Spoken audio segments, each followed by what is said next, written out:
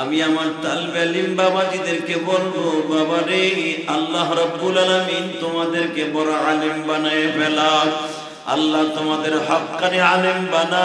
তোমরা যারা এখানে লেখাপড়া করো, আমি জানি অনেক ছেলে অনেক ছেলে মা নাই, কারও বাবা নাই, কেউ আসো বাসায় যায়, মায়ের মুখ দেখো, বাবার মুখখানা দেখতে পারো না।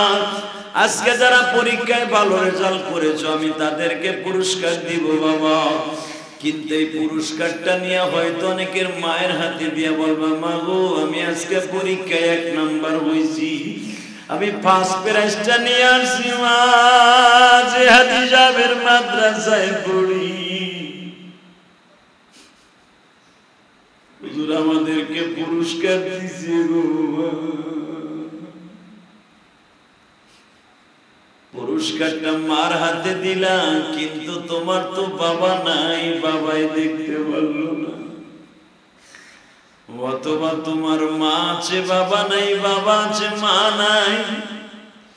তুমি সৎ মায়ের হাতে এই কেরেসটা দিয়া তুমি বলবা, মা গো, আমি পুরস্কার পাইছি গো মা, সৎ মায় কি আর তোমার দামি মূল্যবান জিনিসের দরদ বুঝবে রে বাবা? এই পুরস্কারটা নিয়ে যখন মায়ের বুকের মধ্যে মাথাটা গুটে বললাম মা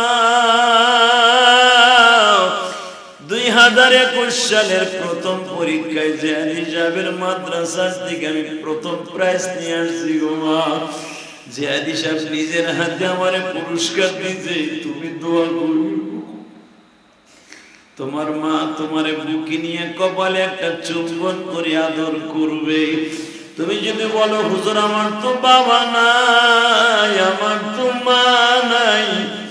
আমি কার কাছে যে বলব, মা, আমি পুরস্কার পাইছি। অথবা তোমাদের অনেকের মা বাবা আছে, কিন্তু দাদা দাদি অনেক আদর করত নানা নানি অনেক আদর করত। আজকে নানির কাছে যাইও বলতে পারলা না, নানার কাছে যাইও বলতে পারলা না। বাবা তোমরা যারে যে হারায়া ফেলছো চোখের পানি ফেলায় তাদের জন্য কান্দো আমার মন বলে তোমাদের চোখের পানির খাতিরে রব্বে কারিম তাদের সবাইকে মাফ করে দিতে পারে أعوذ بالله من الشيطان الرجيم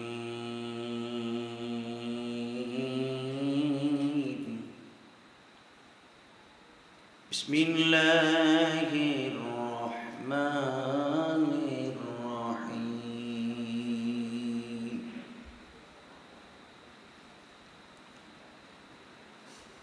سبحانك لا علم لنا إلا ما علمتنا إلا ما علمتنا إنك أنت السميع العليم.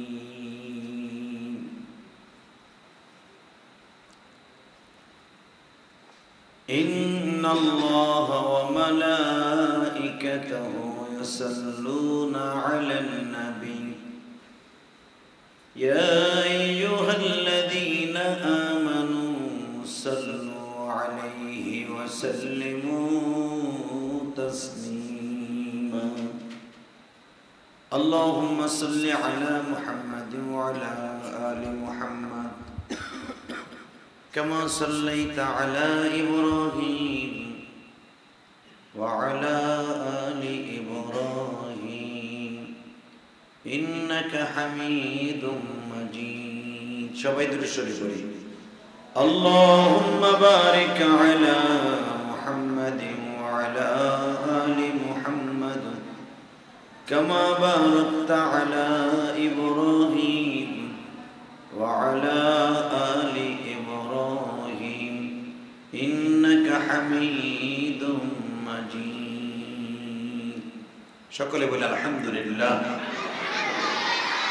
জামিয়া রহমানিয়া শামসুল মাদ্রাসার প্রথম সাময়িক পরীক্ষায় যারা উত্তীর্ণ হয়েছ, যাহারা ভালো রেজাল্ট করেছ, এক, দুই, তিন, চার, এক, দুই, তিন পর্যন্ত যারা রেজাল্ট সুন্দর করেছ, তাদের পুরস্কার অনুষ্ঠানে অভিভাবকগণ এবং আমার তালবে আলিম তাহলে বলিলেন আমার কলেজার টুকরা কচি পেশার বাবাজিরা। আল্লাহ সুবহানাহু ওয়া তাআলার কাছে লাখ কোটি শুকরিয়া আদায় করছি যে মহান সত্তা তোমাকে, আমাকে এই পবিত্র মাহে রবিউল আউয়ালে, এই পবিত্র সময়ে যাদেরকে আল্লাহ পাক আসার সুযোগ দান করেছেন, ওই মহান সত্তার শুকরিয়া জোরে সরে বলে আলহামদুলিল্লাহ। যে সমস্ত অভিভাবকগণ এখানে এসছেন, তাদের সকলের প্রতি আমার দাবি।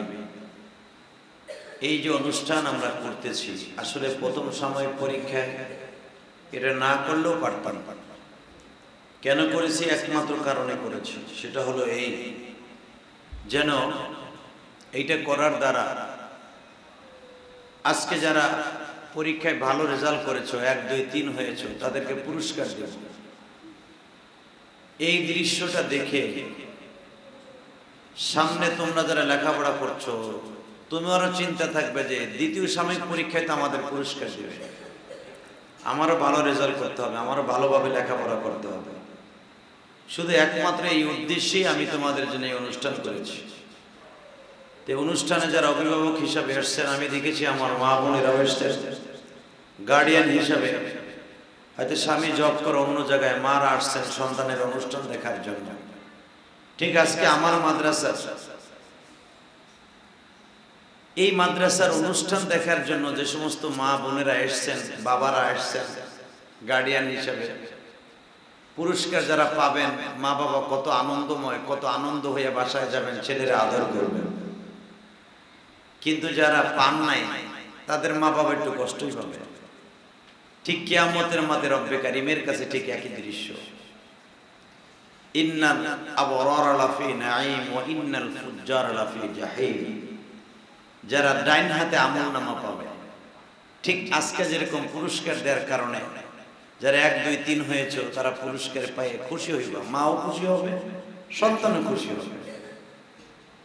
ঠিক কেয়ামতের মাঠে যারা আমল নামা ডাইন হাতে পাবে তারা আনন্দ চিত্তে হাসতে হাসতে আল্লাহর সাথে আল্লাহকে তাকবির দিতে দিতে মিছিল করতে করতে জান্নাতে চলে যাবে সুবহানাল্লাহ, জোরে বলো। ওয়া ইন্নাল ফুজ্জারা লাফি জাহিম। যারা আমল নামা বাম হাতে পাবে, তারা ফুজ্জার, তারা জাহের, তারা আল্লাহর পথভ্রষ্ট, তারা জাহান্নামের দিকে চলে যাবে বাবাজিরা যখন জাহান্নামের দিকে যাবে এই দৃশ্য আমি তোমাদের বুঝাই শেষ করতে পারব না। জাহান নামে যাদেরকে পুরস্কার দেয়া হবে, এই জাহান নামে পুরস্কার যাদেরকে দেয়া হবে, তারা শুধু হাতটা এইভাবে পেতে দিবে তা না, এইভাবে সিল মারবে তা না। তাদের হাতটাকে ঘোরাইয়া এই পিছনে নিয়ে যাবে, পিছন দিক থেকে পিঠের মধ্যে দিয়ে ঢুকাইয়া কলিজার ভিতর দিয়ে টাইনা বুকের মধ্যে দিয়ে বের করবে। এরপরে সিল মারবে। কোরআন শরীফের ভিতরে আসছে কথা। আল্লাহ পাক বলেন, আমি জাহান্নামীদেরকে হাতে সিল মারবো বাম হাতে। কিন্তু তাদের এই হাতটাকে পিছনের দিকে ঘুরাইয়া বুকের কলিজার নিচ দিয়ে টাইনা বের করে সিল মারবো। তখন এই লোকটা কান্দে, আগে যদি জানতাম আমি জমিনে কোনদিন পাপের কাজ না করতাম। কত মানুষ নামাজ পড়ত মসজিদে। আমি শুধু চেয়ে থাকতাম রাস্তার দিকে। কুকুর যেমনে করে বাবা দেখবা বসে থাকে বেনামাজিও কিন্তু কুকুরের ন্যায় বসে থাকে। পৃথিবীতে সবচাইতে জানোয়ারের মধ্যে দুইটা আমরা ভাবি? মনে করি কুকুর আর শুয়ার মনে হয় সবচাইতে বেশি আমাদের কাছে কিন্তু। কাউকে যদি শুয়ারের বাচ্চা বলে গালি দেয়, কলিজার মধ্যে লেগে যায় গো বাবা। কাউকে যদি কুকুরের বাচ্চা বলে গালি দেয়, কলিজার মধ্যে লেগে যায়। হালাকে যাদেরকে আমরা ঘৃণা করি, এই প্রাণীটাও কিন্তু বেনামাজিরে ঘৃণা করি। বিনামাজির একমাত্র একটা প্রাণীতে ঘৃণা করে, সে হলো কুকুর, কুত্তা। এই কুকুরও বিনামাজির ঘৃণা করে, যখন আজান হয়, যখন বসে থাকে মানুষ, বাসার মধ্যে নামাজ না পড়ে, তখন কুকুর যখন জানতে পারে এই বাসার মানুষগুলো বেনামাজি, তখন কুকুর ওই বাসার পরে ভৎসনা দেয়। কুকুর ওই বাসার দিকে তাকায়া, বড় বড় নিঃশ্বাস ছেড়ে বলে, আরে জাহান্নামী রে, তোদের জায়গায় যদি আমরা হইতাম, মাবুদের এক অক্ত নামাজও কামাই দিতাম না। কিন্তু তোরা তো জানোস না, বেনামাজি কবরে যাইবার পরে কি অবস্থা হবে কেউ জানে না। কবরে যাইবার পরে বেনামাজির সবচেয়ে মারাত্মক একটা জিনিস হবে প্রথম জিজ্ঞেস করবে, নামাজ ঠিক মতো পড়েছিলি কিনা? তোমার যৌবন কাল ঠিক মতো চালাইছে কিনা কেন আল্লাহর জন্য? যখন জবাব দিতে পারবা না রে বাবা, তখন কোনো নিস্তার নেই। তবে আজকে আমি তোমাদের সবার খেদমতে আরজ করি, এখানে অনেক বাবারা আছো, অনেক বাচ্চারা আছো। ছোট্ট ছোট বাচ্চারা আমার এখানে প্রায় দুইশোর উপরে ছাত্র। এখানে অনেক ছেলে আছে আমার জানা মতে। তার বাবারা, তার মায়েরা প্রতিদিন সকালবেলা আগায় দিয়ে যায় মাদ্রাসা। আমি দেখি তাকায় তাকায়। মাদ্রাসার মসজিদে যখন কাজ করাই সকালবেলা, তখন দেখি মায়েরা হাত ধরে ধরে বাচ্চাগুলারে নিয়ে আসে। আমার বুকের মধ্যে এত ভালো লাগে। তখন আমি ভাবি যে বাচ্চাগুলাকে মা সাথে করে নিয়ে আসছে, এই বাচ্চা জান্নাতে যাইবার আগে মা জান্নাতে যাবে। আমি দেখি অনেক মায়েরা হাত মোজা, পা মোজা লাগায়া বোরকার সহিত আসে। তাহলে বোঝা গেল স্কুল, কলেজ আর মাদ্রাসা একটু ডিফারেন্স আছে না নাই? এ কথা বলো, আছে না নাই? স্কুলে যখন কিডার গার্ডেনে বাচ্চা লয়ে যায়, মহিলারা উদলা পুদলা বরঞ্চ আর সাইজে যায়। সেই ফজরের আগে থেকে সাজা শুরু করে স্কুলে যাবে। একশো, দেড়শো পুরুষে তারা দেখবে। কোনো বোরকা নাই, পর্দা পশিদা নাই, পুট, বুক পিট বাইর করে, মাথা বের করে স্কুলে বাচ্চা লয়ে যায়। ওই মহিলাটাই যদি তার বাচ্চাকে মাদ্রাসায় দেয় ওই মহিলাও বোরকা পড়তে বাধ্য এই কথা কও না কেন? আমার দেখা মতে, আমার জানা মতে, এক মা তার বাচ্চারে মাদ্রাসায় ভর্তি করেছে এই মহিলার তার ছেলে দুই বছর আগে কিডার গার্ডেনে পড়তো, কেজি স্কুলে। হঠাৎ করে দেখি এই মা তার বাচ্চা ভর্তি করাইতে আইছে, হাত মোজা, পা মোজা এবং খাস পর্দা করে সাথে বাপ না নিয়ে আসলে তো চিন্তামি না। ওই দিনকেও তার বাপ, তার বাচ্চা লয়ে গেছিল স্কুলে। সেদিনকে আমি বলছি, কিরে ভাই? বউরে এইভাবে নিয়েছেন সাজাই গোজায়, পর্দা নাই। হুজুর, ভুল হয়ে গেছে। আপনার বাপি বোরকা পরে, কিন্তু আজকে পরে নেই। ঠিক ওই মহিলাই, তোমরা নাম বলে চিনে ফেলবা। ওই মহিলাই আমার অফিসে আসছে, তার স্বামীরে নিয়ে। হাত মোজা, পা মোজা লাগানো। আজকে কই, কিরে ভাই? ভাবি নাকি নি না, আবার নতুন করে বিয়ে করছে।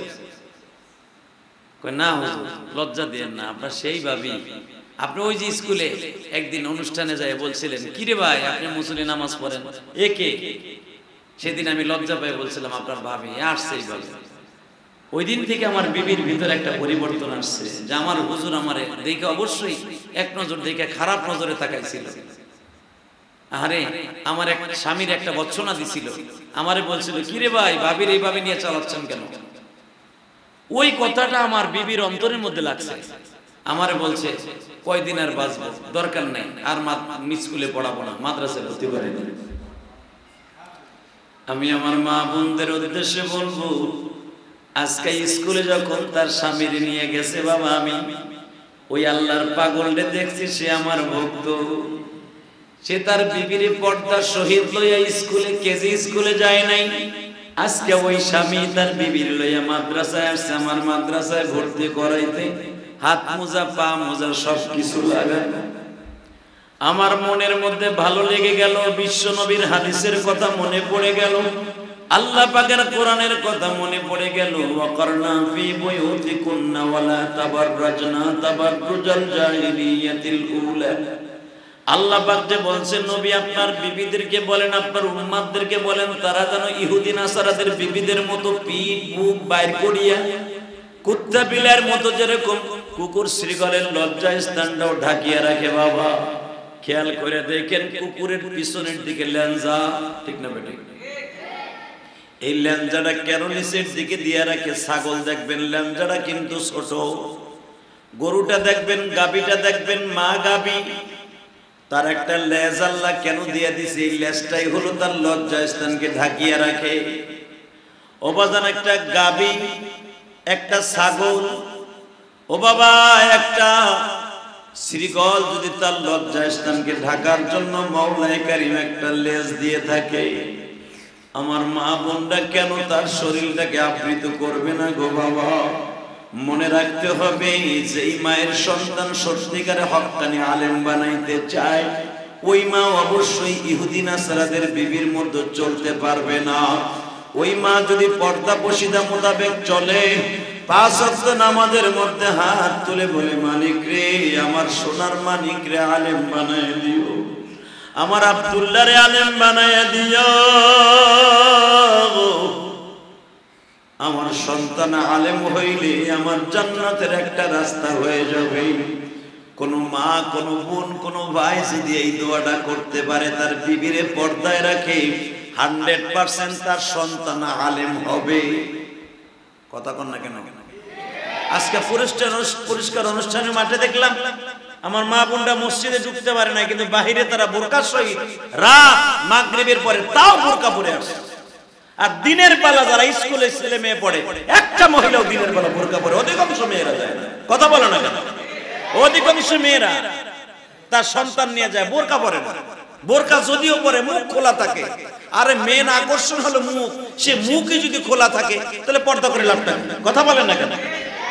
আজকে কিছু পুরুষ আছে, পুরুষ নামে কলঙ্ক। তার বিবিরে বোরকা পড়তে দেয় না। এরকম আছে না নাই? অনুষ্ঠানে গেলে বিবির গায়ে বোরকা পড়তে পারবে না। এই মগি বোরকা পড়বি না। এটা পুরুষ না এটা হিজলা। হে কথা কর না কেন? লাখ লাখ টাকা দিয়ে বিয়ে করে বউ আর একজনে দেখবে কেন? আর এটার কারণে আজকে সন্তান মা বাবার কথা শোনে না। মা বাবার আনুগত্যশীল হয় না। মা বাবা বৃদ্ধ হওয়ার পরে মা বাবারে ভাত দেয় না কথা কো এরম আছে না নাই? মা বাবা অনেক কষ্ট করে লেখাপড়া করায়। অনেক কষ্ট করে আইবি মেট্রিক পাস করে চাকরি হয় না। পরে বাপরে যে কয়, আব্বা আমার একটু বিদেশে দাও। এই দেশে আর শান্তি নেই। চাকরি বাদি এই দেশে হবে না। এই দেশে চাকরি আমার কপালে নাই। বাপ চিন্তা করে, আমার আছে মাত্র দুই কানি জমি এটা বিক্রি করে পাঠাই দেয় বিদেশ। বাপ দুই কানি বিক্রি করে জামা জায়গা বিক্রি করে পাঠাই দিল ছেলে সৌদি আরব। পাঠাই দিল জার্মান পাঠাই দিল ইটালি। আহ, সন্তান বিদেশ থেকে আইয়া পয়সা কামাইয়া, এই সন্তানই মা বাবারে ভাবে কথা কথা আছে না নাই? আছে না? এটা বাস্তব ঘটনা ঘটা এই যে বাস্তব একটা ঘটনা বলি। এ বাইরা, এ বাবা তোরা যারা আমার মাদ্রাসায় পড়োস, আমার মন বলে যারা আলেম সত্যিকারে মাদ্রাসায় পড়েছে। যারা নামদারি আলেম, তারা না, যারা সত্যিকারে মাদ্রাসা হকানে আলেম পড়েছে, তারা রক্ত বিক্রি করে হলেও মা বাবারে কষ্ট করে হলেও মা বাবারে খেদমত করবে মা বাবারে বাদ দিবে। আমার বিশ্বাস, যদিও আলেম হওয়ার পরে বাদ না দেয়, কেয়ামতের মাঠে আল্লাহ রাব্বুল আলামিন মা বাবা যে সন্তানদের আলেম বানাইছে, রসুল বলছে, কোন আলেমান আও পারলে আলেম হইও, তা না হলে আলেমের মা বাবা হইও, তা না হলে আলেমের দুনিতে ভালোবাসো। অথবা আলেমের সাথে মাইয়াটা বিয়ে দিও, তা না পারলে আলেমের সাথে তুমি নিজে বিয়ে বইও। যদি তাও না পারো, একটা সন্তান রে নাতি পোতারে হইলেও আলেম বানাই বলে তখন খামেস। একটা তো স্তরও তুমি থাকবে না তুমি তুহলিক, হালাক হয়ে যাবে। তুমি হালাক হয়ে যাবা পরপুরষ্ট হয়ে যাবে। বিশ্বনবী এতভাবে বর্ষনা দিয়েছেন। আলেমের সাথে যে কোনো ভাবে হয়ে থাকতে হবে। তো মা বাবা অনেক কষ্ট করে দুই কানি জমি বেঁচে ছেলেদের পাঠাইছে। অনেক দূরে পাঠাইছে। তোমরা দেখেছ কয়েকদিন আগের ঘটনা। বেশি দিন না, কয়েকদিন আগের ঘটনা। হয়তো দুই এক বছর আগের ঘটনা। তোমরা চিনি ফেলবা। একটা ঘটনা এরকম ঘটে গেছে গা, মা বাবা জাগা বেচা ছেলেরে পাঠাই দিয়েছে সৌদি আরব। সৌদি আরব যায় মালিকের লাগে মারামারি করে ছেলে হারায় গেছে ছেলের আকামা নাই, কোনো কিচ্ছু নাই। ও মনে ইচ্ছা করে এটা করছে না, মা বাবার বড় দর কারণে করছে, জানি না। দশ বছর মা বাবার সাথে কোনো সম্পর্ক নেই। দশ বছর পালায়া পুলে থাইকা যেভাবে হোক, বৈধভাবে থাকুক, অবৈধভাবে থাকুক থাইকা বহুত বছর, দশটা বছর পরে দেশে আসছে। মনে হয় বিবারি সিলেটের ওদিকের ঘটনা।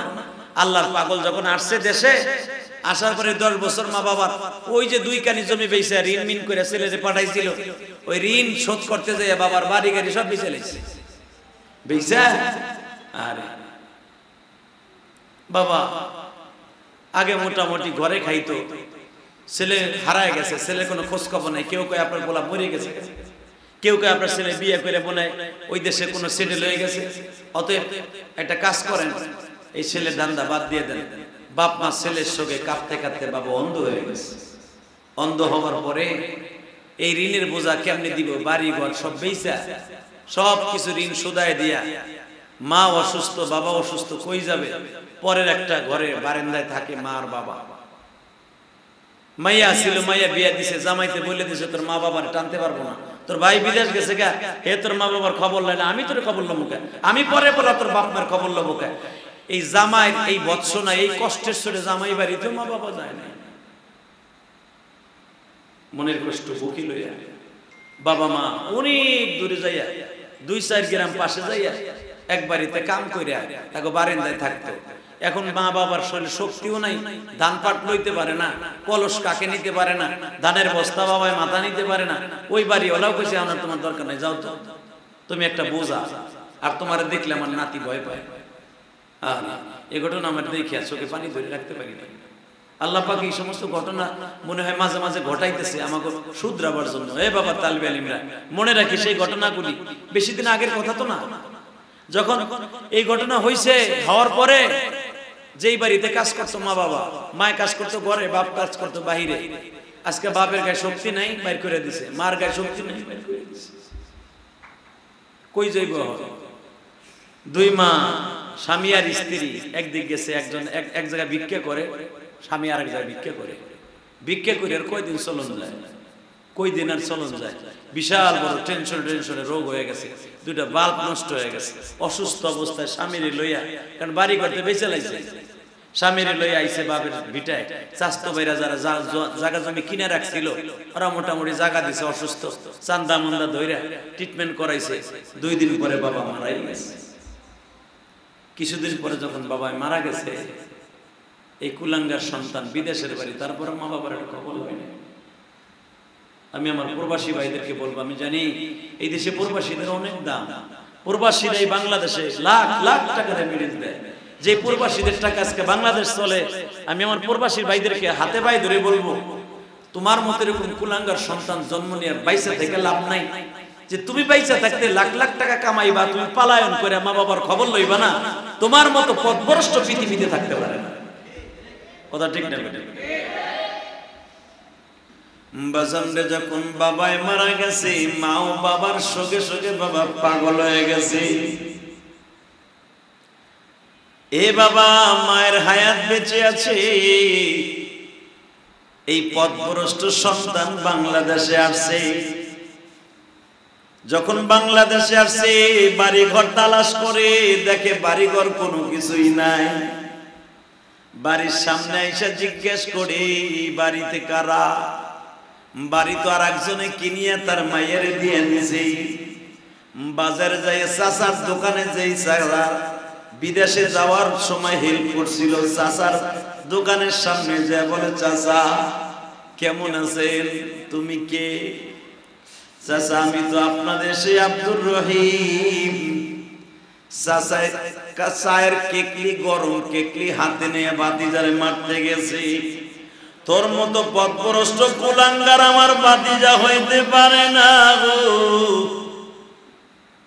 তুই আমারে কোনোদিন আঙ্কল বলে চাচা বলে ডাক দিবি না। মানুষ তুই এমন হ, দশটা বছর পর্যন্ত কেমনে একটা টেলিফোন না করি, একটু খোঁজ খবর না কইরা পারে। চাচা, আমি বিপদে পড়ে গেছিলাম।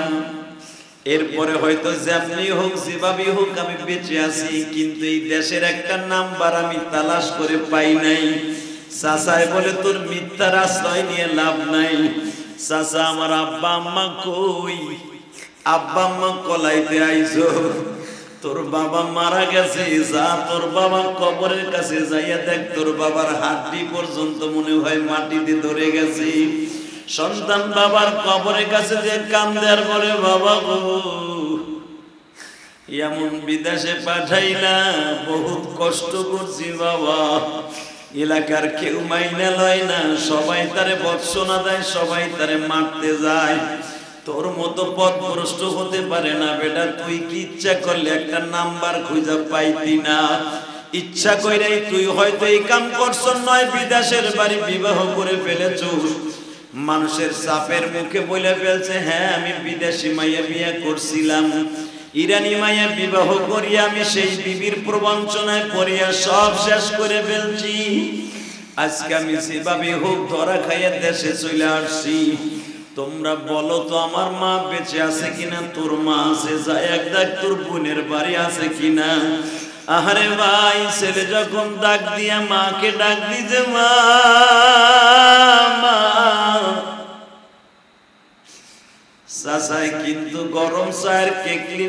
ভাতিজারে মারতে আসছে স্বাস্থ্য ভাইরা তারে লান্দাও দিয়ে কুবাইতে আসছে তুই আমার স্বাস্থ্য ভাই হতে পারস না।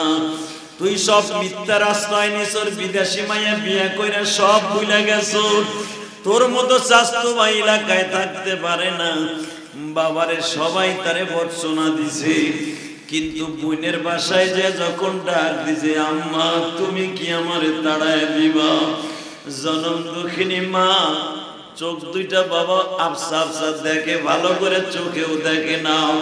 সন্তানের চোখে কাঁদতে কাঁদতে চোখে বাবা ফুলি পড়িয়ে গেছে, পর্দা পড়ে গেছে অবস্থায় মা দৌড়াই বের হইছে, বাবা গো, সবাই তোরে বৎসনা দিল, আমি মা তোরে বলতে পারি দশ মাস, দশ দিন পেটে বোঝা বইছি, কত লাত্তি গুতা খাইছি। কত মানুষ সের বাড়িতে বাড়িতে কাম করে তোদেরকে বড় করছি। সবাই তাড়াইয়া দিলে আমি মা তো তোরে তাড়াইয়া দিতে পারি না। আমি আমার তালবেলিম বাবাজিদেরকে বলব, বাবা রে, আল্লাহ রব্বুল আলামিন তোমাদেরকে বড় আলেম বানায় ফেলা আল্লাহ তোমাদের হাক্কানি আলেম বানা তোমরা যারা এখানে লেখাপড়া করো, আমি জানি অনেক ছেলে এতিম। অনেক ছেলে মা নাই, কারও বাবা নাই, কেউ আসো বাসায় যায়, মায়ের মুখ দেখো, বাবার মুখখানা দেখতে পারো না। আজকে যারা পরীক্ষায় ভালো রেজাল্ট করেছ, আমি তাদেরকে পুরস্কার দিব, বাবা। কিন্তু এই পুরস্কারটা নিয়ে হয়তো অনেকের মায়ের হাতে দিয়ে বলবা, মা গো, আমি আজকে পরীক্ষায় এক নাম্বার হয়েছি। আমি ফার্স্ট প্রাইজটা নিয়ে আসছি, মা। যে হাদিজাবের মাদ্রাসায় পড়ি। হুজুর আমাদেরকে পুরস্কার দিছে গো। পুরস্কারটা মার হাতে দিলাম, কিন্তু তোমার তো বাবা নাই, বাবাই দেখতে পারল না।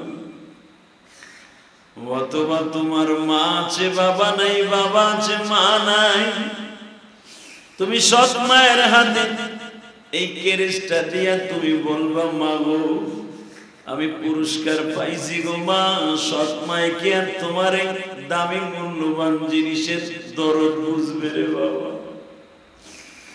এই পুরস্কারটা নিয়ে যখন মায়ের বুকের মধ্যে মাথাটা গুটে বললাম মা দুই হাজার একুশ সালের প্রথম পরীক্ষায় যে হিসাবের মাদ্রাসার আমি প্রথম প্রাইজ নিয়ে আসছি গো মা। জিয়াদি সাহেব নিজের হাতে আমার পুরস্কার দিতে তুমি দোয়া করো তোমার মা তোমারে বুকে নিয়ে কপালে একটা চুম্বন করে আদর করবে।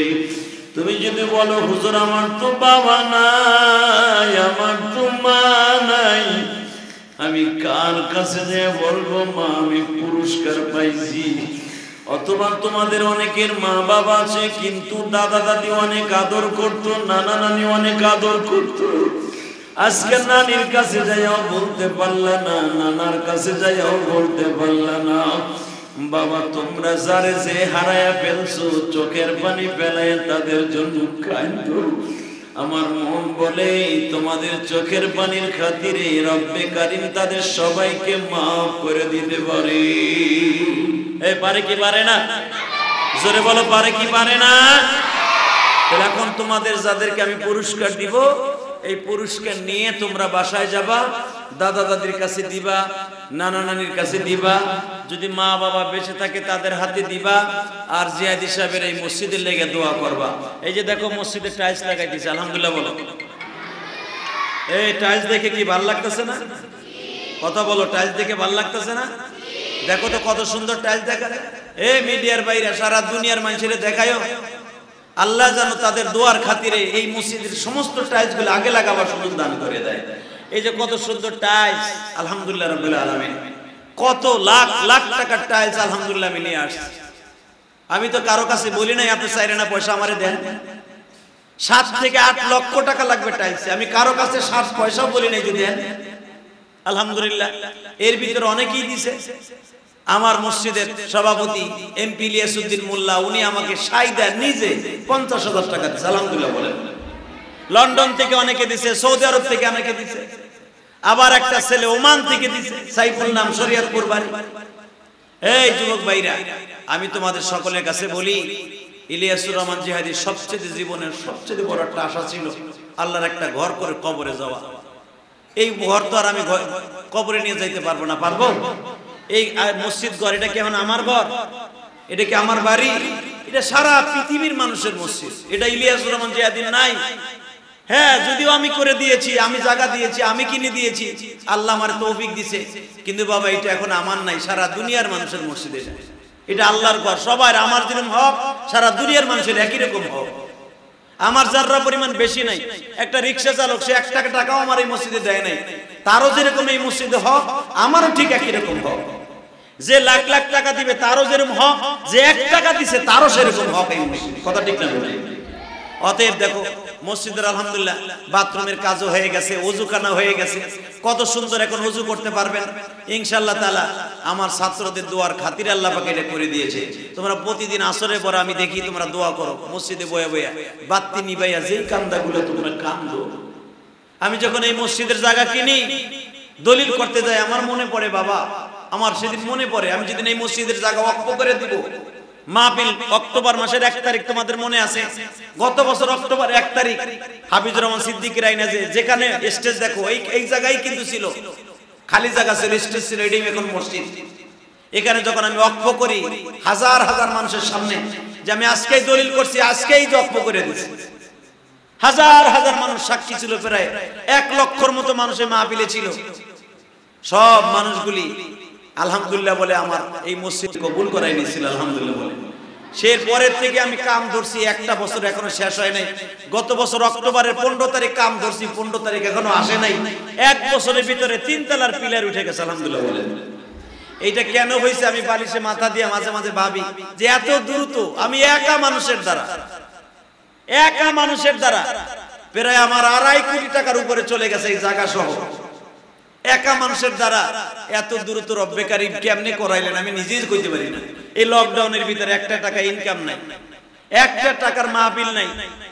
মাদ্রাসা মাদ্রাসা চালাইতে কষ্ট হইছে, কিন্তু মাদ্রাসাও চালাইছি, মসজিদের কামও চালাই কেমনে কি কষ্ট করে তোমরা জানো, বাড়ি বেইছে দারু দার করে কত কষ্ট করে মসজিদের কামটা চালায় গেছে। আজকে যে তিন তলার পর্যন্ত হইতাছে, আলহামদুলিল্লাহ দুই তলার কাজ প্রায় কমপ্লিটের কাছাকাছি কাটনি নিচতলা টাইলসের কাজ প্রায় কাছাকাছি শেষ হয়ে গেছে, অর্ধেক টাইলস লাগানো হয়ে গেছে। ওজোকানে টাইলস লাগানো হয়ে যাবে। আল্লাহ শুকর। এগুলো সম্পূর্ণর পিছনে আমি দেখছি। কারণটা কি? এত দ্রুত কেন আমার মসজিদ আল্লাহ করাইলেন? আমি একা, মানুষের দ্বারা? কত এক এক কমিটিতে বিশ জন, পঞ্চাশ জন, দুইশো জন থাকে এক এক কমিটিতে। তাও একতলা করতে এক বছরে পারে না। কথা ঠিক না বেটা চান্দা মান্দা তুইলে তারপরও কত কষ্ট হয়, কত গ্যাঞ্জাম হয়। কিন্তু আমি একার দ্বারা আমি গুনাগারকে দিয়ে আল্লাহ কাজ কেন কেমনে দ্রুত করাইলেন? আমি একটাই দেখলাম যে আমার ছাত্ররা প্রতিদিন আসরের পরে, আমি একটা জিনিস দেখছি। বাবারে, আমি একটা জিনিস দেখেছি। তোমরা যখন প্রতিদিন আসরের সময় বয়ে বয়ে কান্দ, আমি দেখি বাতিটা নিভাইয়া বাতির সুইচটা অফ করে দিয়ে বাতি বন্ধ করে দেয় অন্ধকারের ভিতরে। এই ছোট্ট ছোট্ট মাসুম বেগুনা বাচ্চাগুলি যখন আমার রব্বে কারিমের কাছে কাঁদে আর মনে মালিক রে, জিহাদি সাহেবের মসজিদকে তুমি কবুল করো, তাড়াতাড়ি মসজিদের সুন্দর ব্যবস্থা করো। আমি দেখি বাবা, তোমরা যেইভাবে কান্দো, বাতি বিবাইয়া মসজিদের মধ্যে, দেখি তোমরা এই কথাও বলো আল্লাহ মসজিদে যারা এক বস্তা দিয়ে উপকার করে, যারা এক বস্তা একটা টাকা দিয়েও যারা সহযোগিতা করে, আল্লাহ তুমি তাদের সবাইকে মাফ করে দিও জিয়াদি সাহেব হুজুরের মাকে মাফ করে দিও। আমি দেখি বাবা, তোমরা ছোট্ট ছোট্ট কচি হাত আমার মাওলার কাছে তুলে তুলে কান্দ। আর বলো মানি,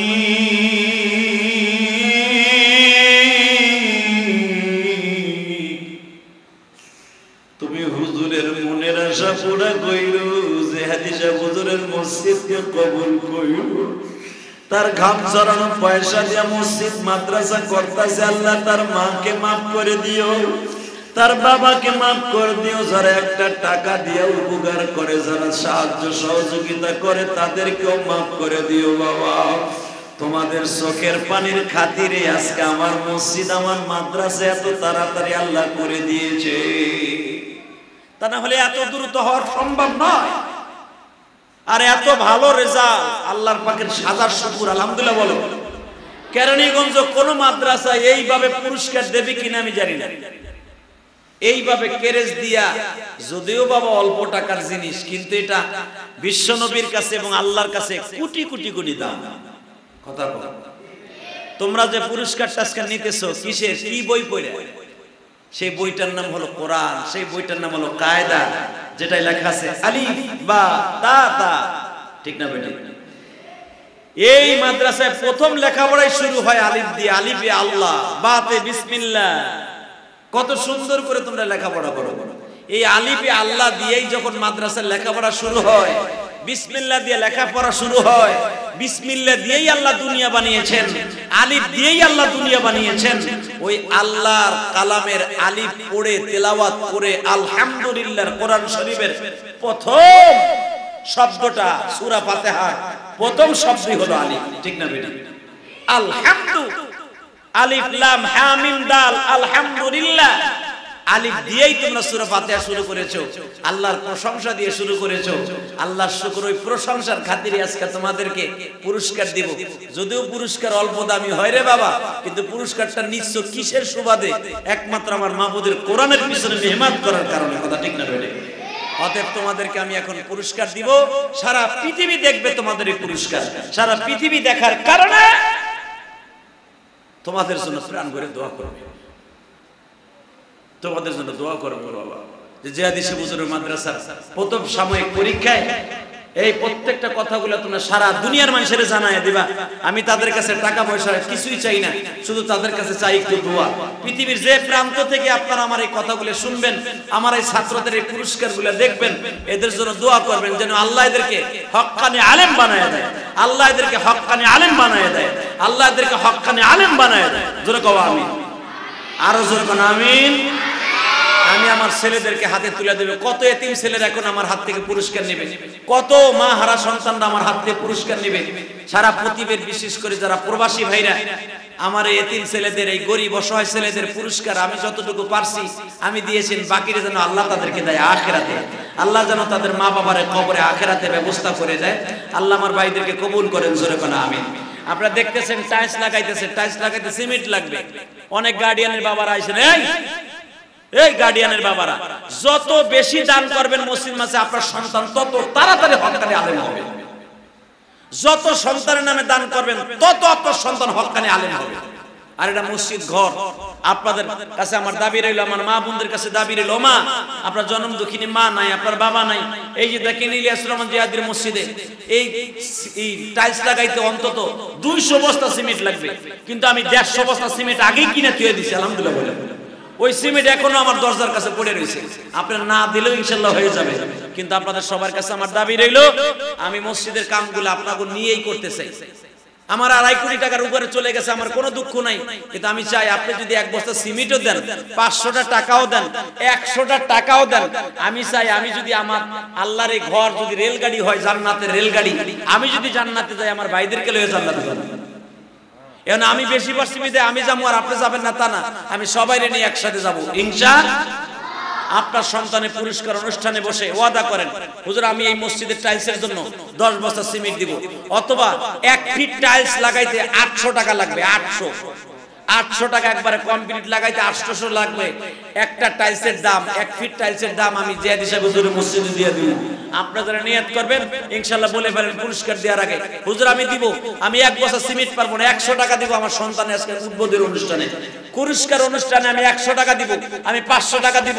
হুজুর, এই জান্নাতের গাড়িটা, জান্নাতের বাড়ি যাওয়ার জন্য আমার সন্তানকে নিয়ে জান্নাতে যাওয়ার জন্য আমি একশো টাকা খুশি হয়ে দিয়ে দিব।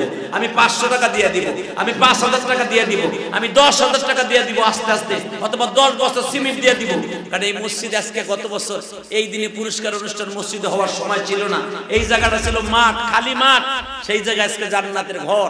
আমি চাই এই জান্নাতের ঘরের থেকে আমরা ডাইরেক্ট জান্নাতে যাব, ইনশা সারা দুনিয়ার যে সমস্ত বাইরা দেখতেছেন, আমার এই ছেলেগুলাকে অসহায় এতিম ছেলেরা, এবং অনেক বড় লোকের ছেলেও এখানে আছে, সব যে অসহায় ছেলে তা না, অনেক বড় লোকের ছেলেরাও এখানে আছে। আপনার ছেলে যদি হকানে আলেম বানাইতে চান, একটাই সিস্টেম আছে, আপনার সন্তানের জন্য পাঁচ বছর, দশ বছর সিমেন্ট এই মাদ্রাসায় দিয়ে যাবেন এবং ওয়াদা করে যাবেন। সুতরাং আমি এক মাসে পারব না, আমি দুই মাস বসে বসে পাঁচ বছর সিমেন্ট দেবো, দশ বছর সিমেন্ট দেবো। আমিও চাই, এই জান্নাতের রেলগাড়িতে যখন জান্নাতে যাবে, আপনার সাথে যাব, ইনশা আল্লাহ আপনাদের সবাইকে কবুল করেন জোরগানা আমি গার্ডিয়ান যারা আছেন, নিয়ত করে ফেলেন যে জিয়াদি সাহেবের মসজিদে এক বছর সিমেন্ট দিব, পাঁচ বছর সিমেন্ট দিব, এর ছিল আপনার সন্তান আল্লাহ হকানে আলেম বানাইব। আল্লাহ আপনার সন্তানকে কবুল করুক, জানে মানে বরকত দান। আলহামদুলিল্লাহ। আল্লাহ তার সন্তানকে তুমি হকানে আলেম বানাও। তার মা বাবাকে মাফ করে। আয়ানের আম্মু, এই দেখো, আমার মারা বলে দেয় না, বোনেরা বলে দেয় না, সারা দুনিয়ার মা বোনরা দেখেন, সারা দুনিয়ার মায়েরা। ইলিয়াস রহমান জেহাদির গাম ঝরানো মসজিদে, আহা আমার মায়েরা আসছে সন্তানের পুরস্কার নিতে গার্ডিয়ান হিসাবে। মসজিদের বাহির থেকে আমার মায়েরা টাকা পাঠাইতেছে, সন্তান যেন আলেম হয় এর জন্য। আল্লাহ আমার মাদেরকে কবুল করেন। আল্লাহ আমার মা বোনদেরকে কবুল করেন। জানে মালে বরকত দান করেন, আলহামদুলিল্লাহ।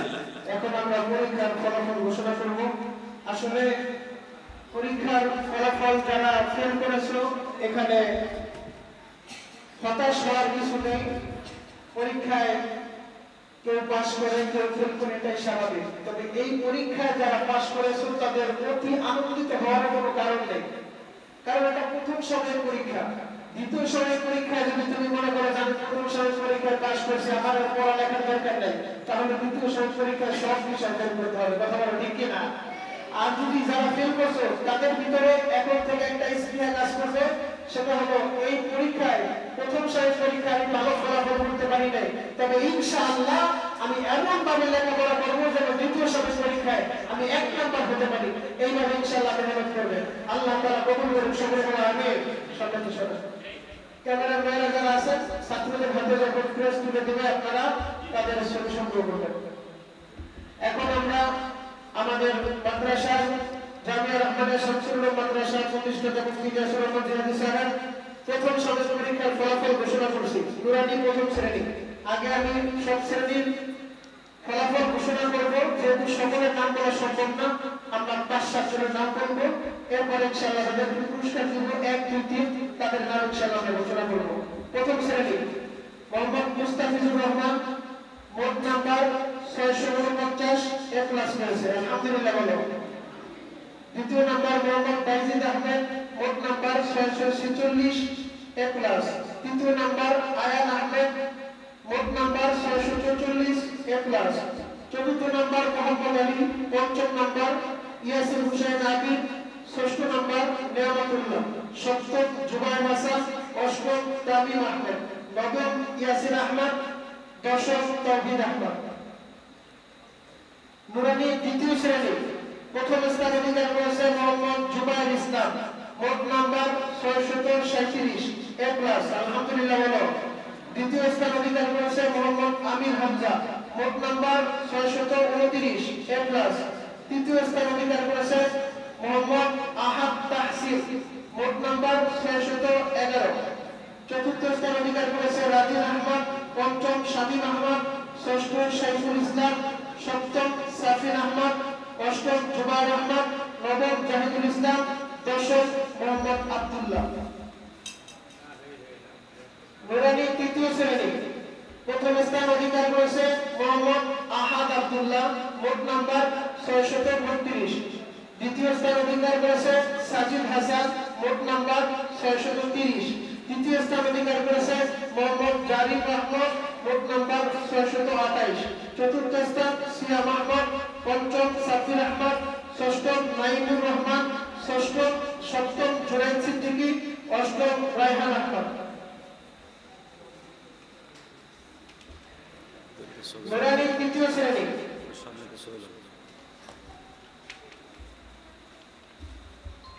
হিফজ বিভাগ প্রথম স্থান অধিকার করেছে মোহাম্মদ শোনেন, আলী কেরে শোন। দ্বিতীয় স্থান মুজাইফা তৃতীয় স্থান আবু হানিফা চতুর্থ আবু সাইদ পঞ্চম নিয়ামুল হক ষষ্ঠ জুবায়ের আহমদ।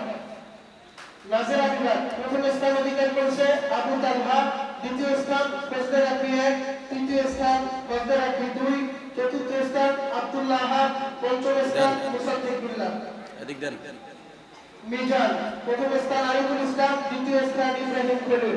চতুর্থ শ্রেণি প্রথম স্থান মারুফ আহমদ দ্বিতীয় স্থান আল তৃতীয় স্থান আতিক আহমদ, চতুর্থ স্থান রাকিবুল ইসলাম, পঞ্চম জুনাইদ ইসলাম।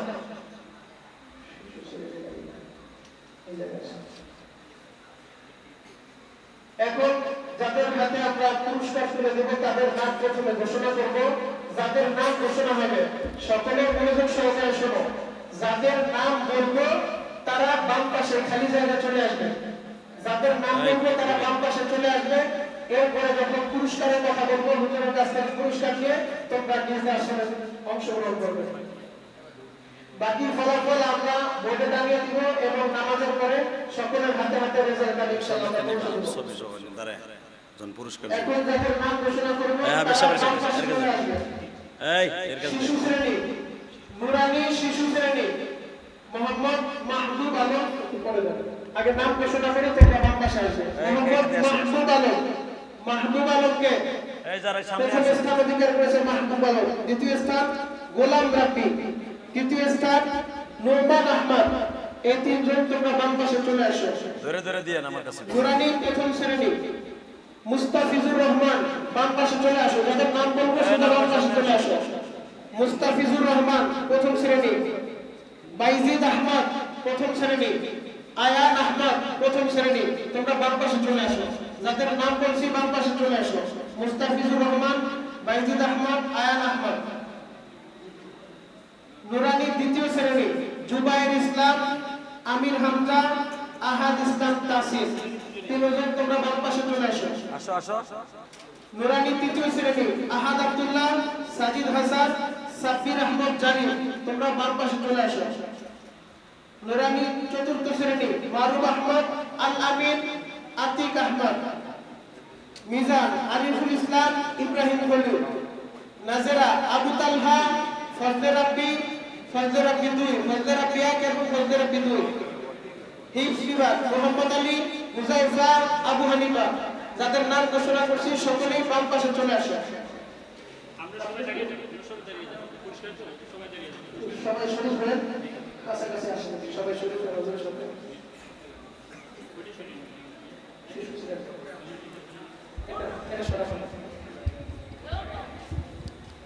যারা হুজুরের কাছ থেকে পুরস্কার নিবা আগে মুসাফা করবা সালাম দিবা মুসাফা করবা এরপরে ইনশাআল্লাহ পুরস্কার নিয়ে তোমরা যাবে। মোহাম্মদ মাহবুব আলম শিশু শ্রেণি প্রথম স্থান অধিকার করেছে। হুজুরের সাথে মুসাফা করো। শরীর ধরো ধরো না, ধরো। আমার সাথে। মাহবুব আলম। ঠিক আছে যাও। তোমরা সবাই বসো। দ্বিতীয় স্থান গোলাম রাব্বি। গোলাম রাব্বি শিশু শ্রেণি সাউন্ড একটু কমায় রাখো গোলাম রাব্বি অনুপস্থিত নোমান আহমদ। নোমান আহমদ শিশু শ্রেণি হাত হবি না এখানে কাজ করা যাবে ইয়ে করে। ইয়ে করে। মোহাম্মদ আলী হিফস বিভাগ মোহাম্মদ আলী হিফস বিভাগ মোহাম্মদ আলী কোথায়? মোহাম্মদ আলী? মোবাইল মোহাম্মদ আলী মোহাম্মদ আলী। মোহাম্মদ আলী নাই বলেন। ও। हुजैफा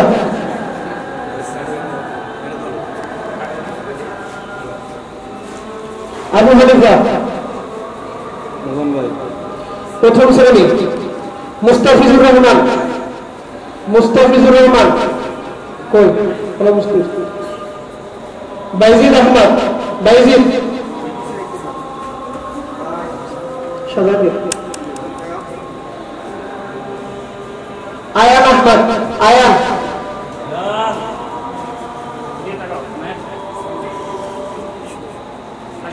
নাজেরা আবু তালহা প্রস্তুত থাকবে আবু তালহা আসো।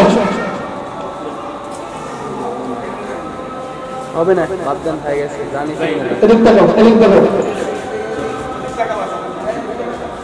ফজদার নাজের ফজদার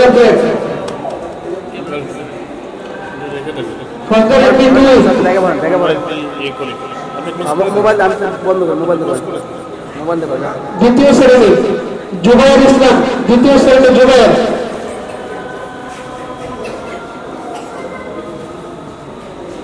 আমির